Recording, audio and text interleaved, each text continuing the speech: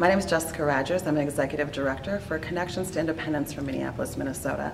Just finished watching Kevin Brown's workshop on how to develop your brand for youth, and it was truly amazing. We're going to be looking at how we can bring him to Minnesota to impact our youth in Minneapolis and the greater Midwest.